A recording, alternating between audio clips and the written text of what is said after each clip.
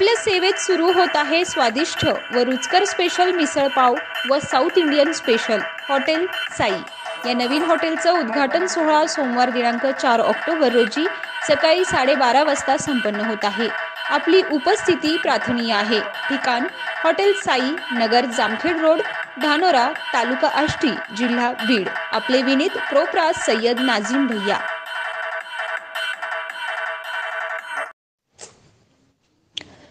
शंकरवाडीच्या जनता दरबारात तक्रारीच्या पावसातही डिजिटल सातबाऱ्याच्या उतार्याचा नामदार प्राजक्तदादा तनपुरेंच्या हस्ते शुभारंभ संपन्न.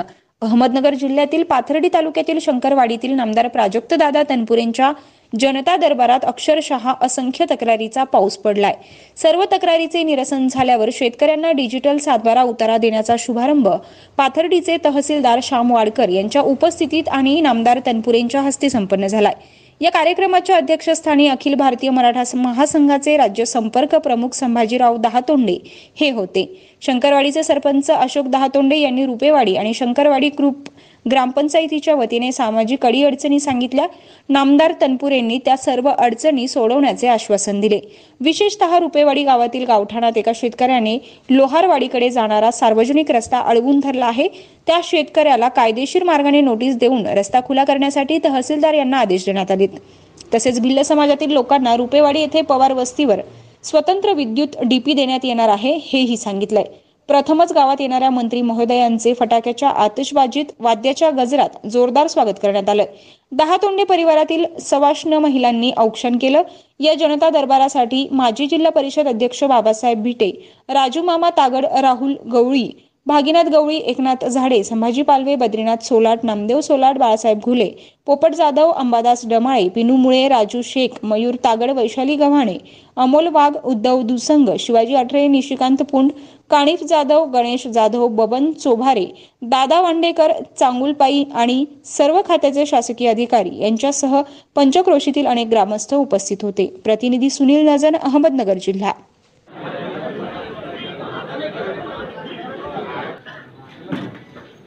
रावसाहेब केशव जाधव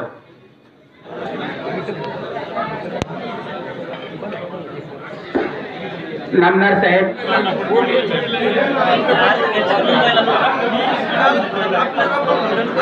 ते बंधूला जागेच्या आम्ही अडचण चालतो तांद्यात तुम्हाला विहीर करायची शंकरवाडी ग्रामपंचायतला.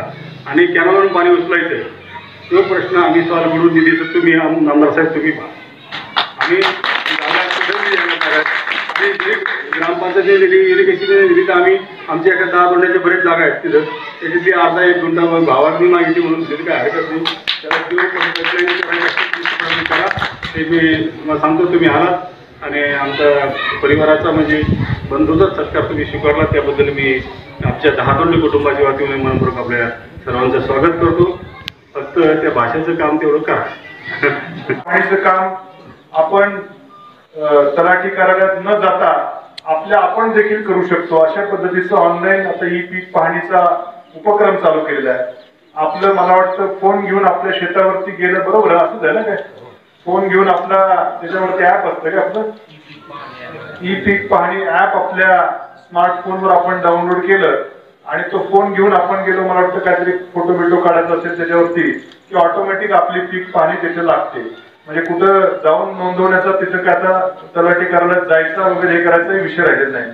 तर मला वाटतं आपण हे मंडलाधिकाऱ्यांनी जरा थोडासा कॅम्प घेऊन हे जरा व्यवस्थित कसं ऍप आहे काय आहे ते कसं चालवायचं याचं जरा एकदा थोडीशी कार्यशाळा थोडीशी घेतली गेली पाहिजे कदाचित घेतल्या असतील आपण.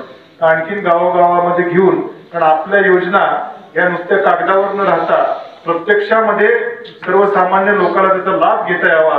याकरता मंडलाधिकाऱ्यांना आपण जरा सूचना देऊन गावागावामध्ये जाऊन आपण ते शिबिर सरपंच आपण देखील याच्यामध्ये पाठपुरावा करावा की जेणेकरून या महसूल विभागामधला कारभार अत्यंत सुलभतेने लोकांना त्याचा फायदा घेता येईल. बँक काढतो. आणि कर्ज फेडायचं आमचं शेड्यूल इतकं करेक्ट असल्यामुळं कुठलीच बँक नाही म्हणत नाही पैसे द्यायला. आणि मग हे व्याज वाढत वाढत जातं आणि याचा भोगदंड शेवटी ह्या ग्राहकांवरती पडतो. असं सगळं इतक्या वाईट परिस्थितीमध्ये चालू आहे. पण आता आपला तालुका हा तसा जरा दुष्काळी तालुका आहे जिराज तालुका आहे, आमच्यासारखा रावली तालुक्यासारखा बागायत तालुका नाही. पण तरी देखील मला ऊस तोडा म्हणून ह्या गावात मागणी आलेली आहे. परंतु जर सगळं मी म्हणत नाही की सगळं भरा तेवढं शक्य होणार नाही. परंतु जेव्हा चालू बिल येईल तेव्हा त्यातलं थोडं थोडं बिल हे त्याचं तारखाही दिल्या.